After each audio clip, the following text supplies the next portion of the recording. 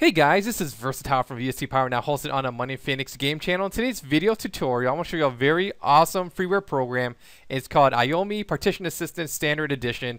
And if you go to the link in the more info section, I got a link to this website. You can read more about it. But basically, you can create partitions, resize them, uh, split partitions, a lot of good stuff. And you don't have to spend any money at all because it's freeware and it's awesome. So let's go ahead and run this program. I'll give you a really quick tutorial on how this works. So here in the center, you got your disk.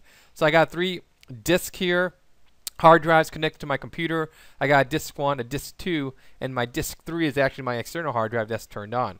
So for purposes of this example, let's say that on my disk 1 I have a partition here that is 58.5 gigabytes. And let's say I want to make a new partition out of it that is 5 gigabytes. So if I were to go over here, here's your different partition operations.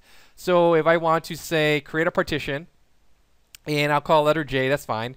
And let's make it like 5 gigabytes, for example. And I want to use that for the future for storing documents or whatever. Here we can see what the changes could look like. It's also reiterated up here on the top here on disk 1. And then if I want to, I can click on apply. It's to ask you, are you sure? Click on proceed. So I go ahead and do it real time here. Click yes to start. And it's to go ahead, take my free space, and create a 5 gigabyte partition out of it. And then what we'll do is we'll go to my computer icon and I'll show you that, yeah, this did work. It's awesome. I did not have any data loss, although it's always a good idea to make sure you back up your data because some things could happen. And here's my J partition, 5 gigabytes, and we're good to go. If I want to delete that partition, let's go ahead and right click. I can say delete it, or I can say merge a partition. So I merge that data, if I had any data, with this other partition I have here.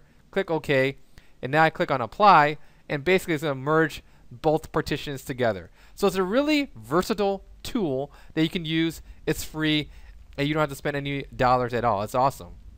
And of course, if you go into the help section of this program, we have a lot of good information about um, you know online tutorials.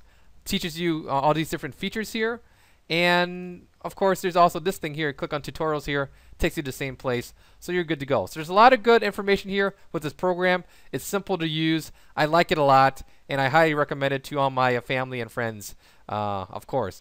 So that is today's video tutorial. You guys have any nitpicky questions, leave a comment here on the YouTube page. I'll get back to you as soon as possible. Once again, thank you for watching. Take care. Bye.